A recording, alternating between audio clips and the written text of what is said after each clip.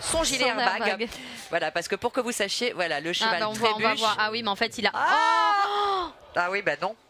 Ah bah Ah, non, mais ils c'est n'ont pour pas ça que je glissé. pense qu'il est en colère parce que je pense qu'il est en colère de, de ce qu'il a fait à son cheval certainement. Enfin, Bah, ça, c'est une trajectoire euh, complètement mais je déviée. pense que c'est parce qu'il avait pas de rêne, il a pas réussi à maîtriser le cheval et, et c'est vraiment dommage. Enfin, on, voit là Raphaël euh, Mais marcher. je pense que voilà, il caresse euh, ou, ou pas son cheval. Il le prend, je crois que là, il est très agacé.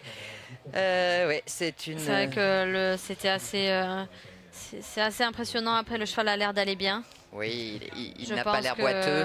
Non.